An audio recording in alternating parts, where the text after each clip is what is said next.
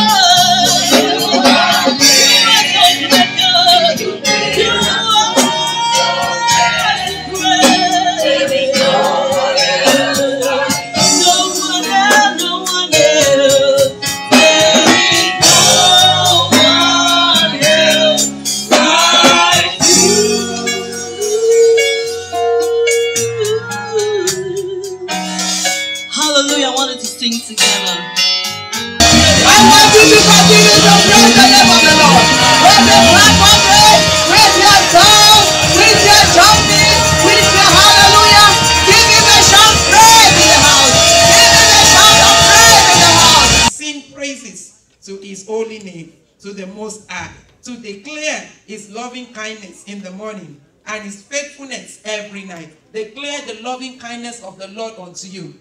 Declare the goodness of the Lord unto you. If God has done anything in particular in your life, and you know it is the Lord's doing, you know it is nothing that you have done, you know that it is not of your own works, you know that it's not of your own mind, then as a child of circumstances, and this morning in the, in the, in the 9 o'clock prayer, I was telling them that God can speak through anything, God can speak through anyone, even the ushers that welcomes you from the door, God can speak to them through you, even through the praise and worship, God can speak to them through you, even through the Bible reading, God can speak to your situation through the Bible reading, even through the sermon, God can speak to your circumstances. So you pray this morning in any way you are going to speak, Lord. Father, Lord, let me hear you audibly. Let me hear you audibly. Let me hear you audibly. Speak to my situation. Speak to my circumstances. That today, Lord God, Baba, speak to it, oh God. Baba, speak to it, oh God. Baba, speak to it, oh God. You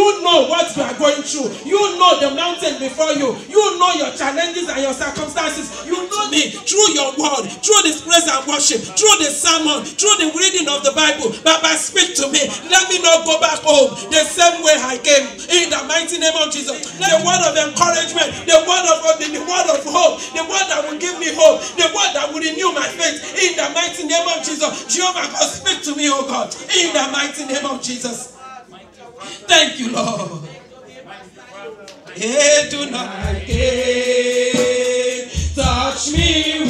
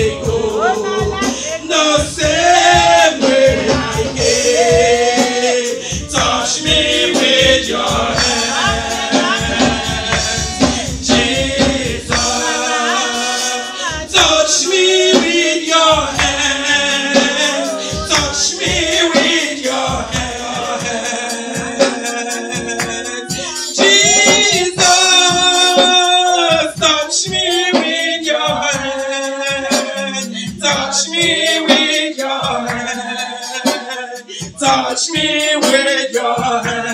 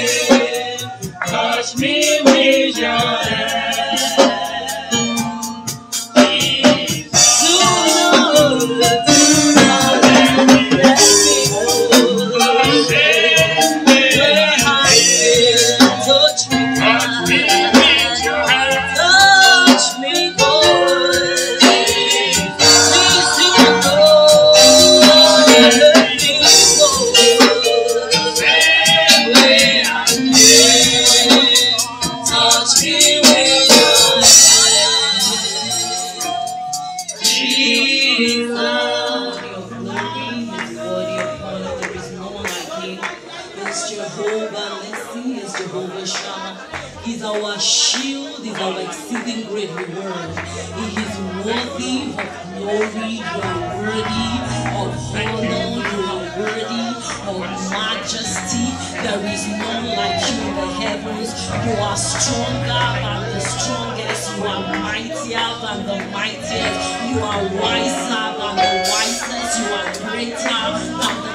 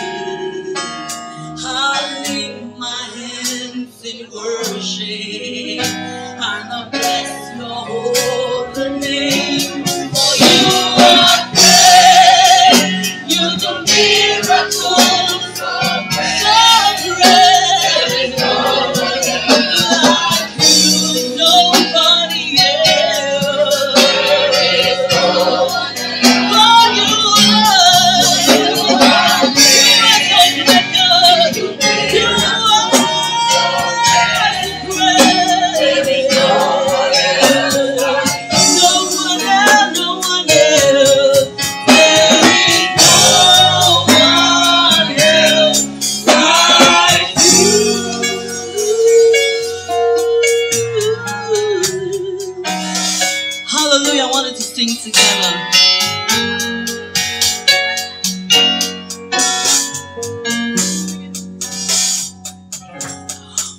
Without the glory.